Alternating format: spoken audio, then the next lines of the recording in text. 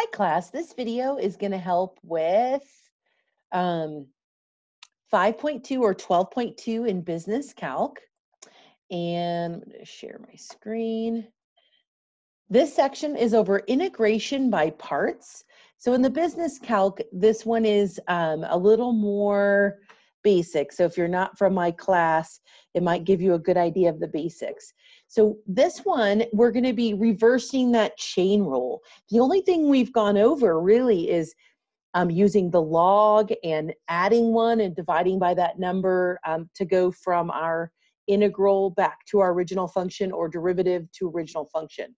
So integrals or antiderivatives, same thing. Okay, so let's look at the idea of the chain rule. So the idea of the chain rule is we took the derivative of something outside with something inside. And that function outside could have been to a power, it could have been a log, it could have been an e to an x. Um, but we had more than just an x wherever this was at. And we had that rule of you do whatever's on the outside, derivative of the outside, keeping the inside, times the derivative of the inside. Okay, so derivative of the outside, keeping the inside the same, times the derivative of the inside. So we've done that before. To undo that, we should already have the derivative of the outside and the inside. So basically, we're going to have to look at this inside stuff and double check that it matches this part, okay? And then we're going to undo the outside. So we're going to undo the outside and make sure that the derivative outside checks. So let me go ahead and go through a couple problems. So let's look at something, the e to the x ones tend to be a little easier, so we'll start there. What if I have 3x squared e to the x to the third minus 1 um, dx? If this is my integral, how am I going to do or find the, the original function or the antiderivative? How am I going to solve this integral? Well, I'm going to look and think the main function is e to some power. I'm going to ignore this part over here for a second, and I'm going to let u equal x to the third minus 1. That exponent is going to be our u. Then what I'm going to do is I'm going to take the derivative, the du of this part here, that exponent on the e. That would give me 3x squared. And then I look and I see if that's what's out front. Is the derivative what's being times out front? So great. So we did the chain rule on this when originally, and we kept e to the power, and then we times it by the derivative of the inside.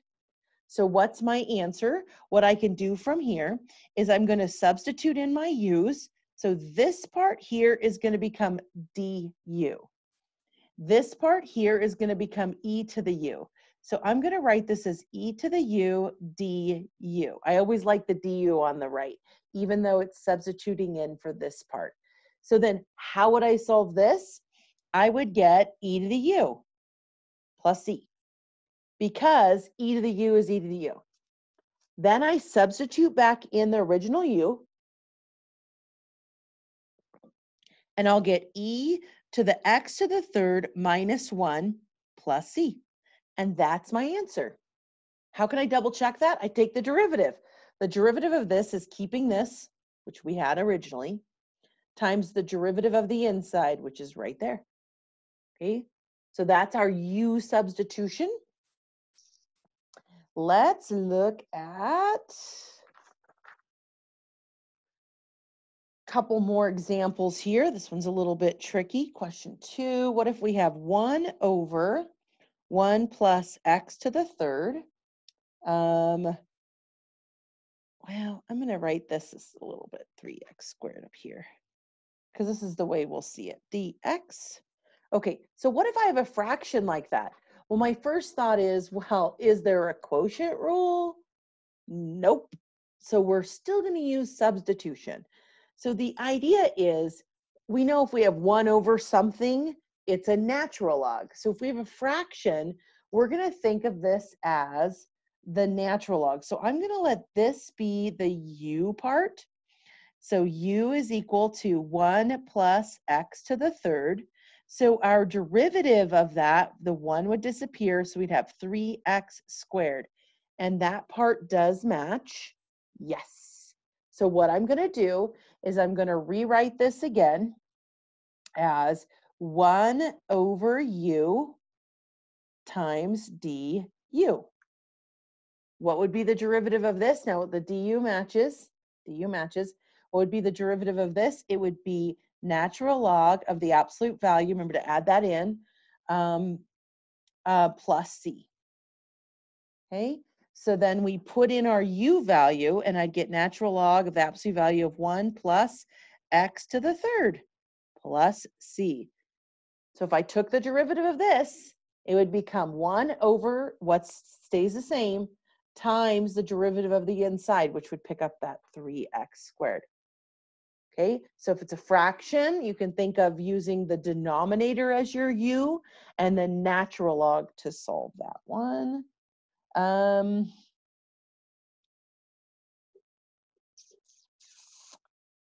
thinking, thinking, thinking. Ooh, here's one. What if I have x squared plus 2x plus 5 all to the fifth power times 2x plus 2 dx. So there's my integral on that one. Okay, take a second and see if you can figure out what you should represent on this one.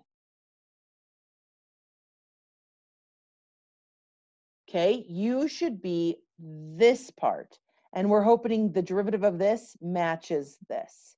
So our u value will be x squared plus 2x plus 5. And our derivative of that will become 2x plus 2. 5 drops off. All right, so we're there. That matches that.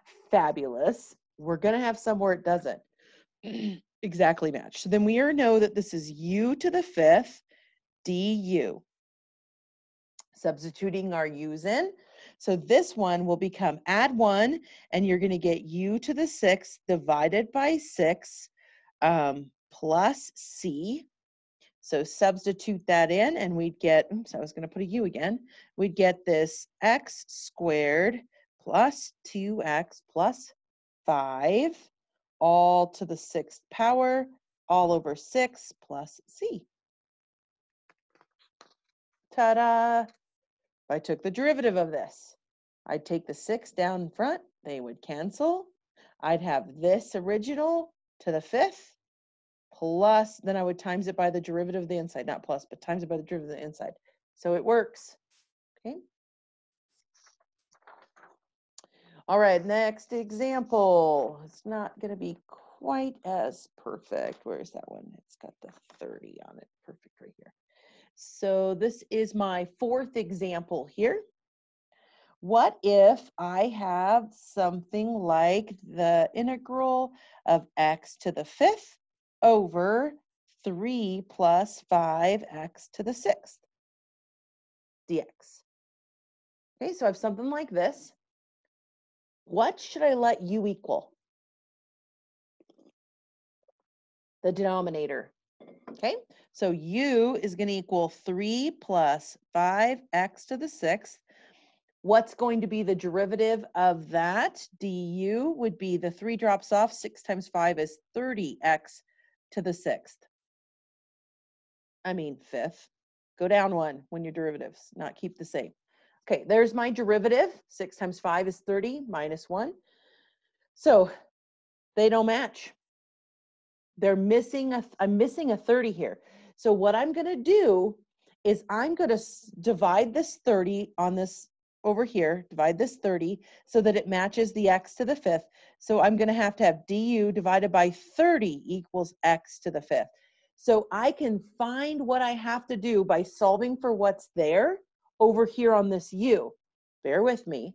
So then over here, I'm going to have um, basically 1 over u. And then instead of just du, I'll have du divided by 30. So I'm going to figure out the 1 over u, and then I'm going to basically keep that 30 in the denominator. Okay, so 1 over u, the derivative of that would be natural log absolute value of u, right? Um, plus c, but then I have to times it by this 1 over 30 plus the c. So this 1 over 30 I get from here. Because the du kind of goes away when I do the integral. Not kind of, it does. And so I'm still left with that 30. Okay, so, and it's in the denominator, so it's 1 over 30. So my final answer is going to be the natural log of the u was 3 plus 5x to the sixth plus c divided by 30 times 1 30th. It will accept it any way you write it. So some of the methods show you to pull the 1 30th out front. So some of the methods show to pull the 1 30th out front and then you would leave the du here. Totally fine. Calculate and then times by the 1 30th because I can pull out a constant and it would stay in my antiderivative and my original derivative. So um, either way that you want to do that with that number. Okay, a little bit tricky. I thought I, I opened another sheet with some examples because I thought I had another one with a value missing. Okay, but I don't see one on here. That one's just like what we did. Oh, um, what if I had, well, no, we did that in the last chapter. I think we're good with that concept. Hold on. Boo, boo, boo. Um, let's see. Sorry, maybe I should have had one more example ready. See, this DU is still, okay, let's try this one. Let's just do one more here and then um, I, there'll be more examples from the book as well that you can watch the examples from. Okay, so let's go to x times x minus 3 dx. Okay, so this one is a little bit tricky, so I want to do this one. Well, or I've been trying to find some tricky ones. We know that we should let our u equal what's under here. So our u is going to equal x minus 3. So our du is just 1. That's kind of tricky. Um, but I have an x out here. What can I do about that x? Well, I can use my u notation and solve for x. So here goes a little bit of a trick, but I could add that 3 over and u plus 3 is the same as x.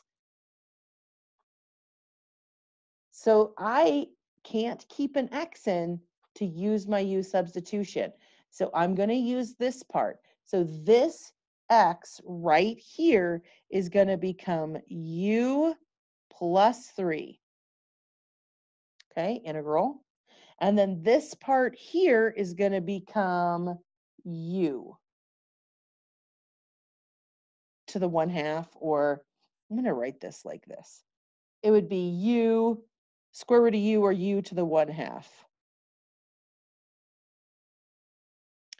du. du, which is just a 1 on there. We didn't have anything we had to divide. So our inside wasn't missing part, but this is still a little bit different. Okay, so what are we going to do from here? Okay, we're going to take and times this by each of these because I don't have a product rule necessarily. So we're going to times this by this. Um, there is one, we just aren't using it yet. One half plus one is going to give me three halves plus three times u to the one half. So here's where I'm at now. So I'm just multiplying that through. And then from here, I am going to add one on this one. So three halves plus one, it's like adding two because two make a whole.